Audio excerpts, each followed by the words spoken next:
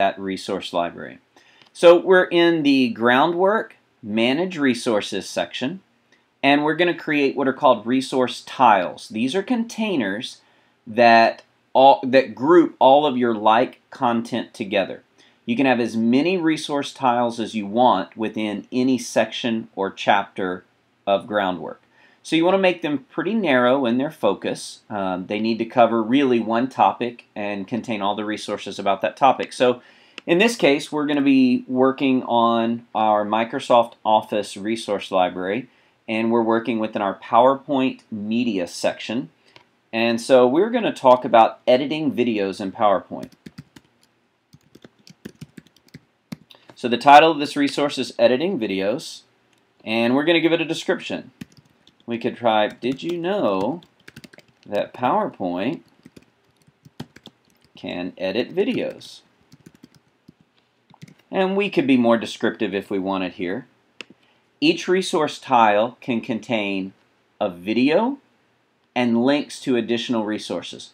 So for our video, uh, in this case I found a video already hosted on YouTube that explains how to edit videos. So we just grab that embed code straight from YouTube and we drop it into the resource tile. And then we can include additional links. This could be links to how-to PDF files, Word documents, uh, additional video files, um, uh, links to external websites, downloads, whatever you want to, to put here. We'll be real simple, um, and we'll include a link to Google for no particular reason. So we just put the title of the link and the link itself separated by a comma. And we'll put another link. So just return and uh, let's put a link to Microsoft's website.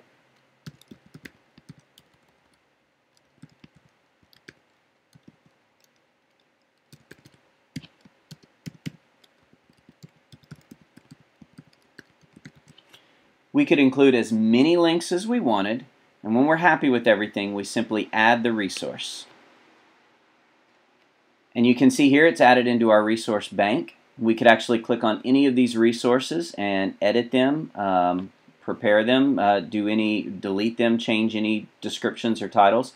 And once we build up a bank of resource tiles, we can insert them into our plugin, and we'll do that in the next video.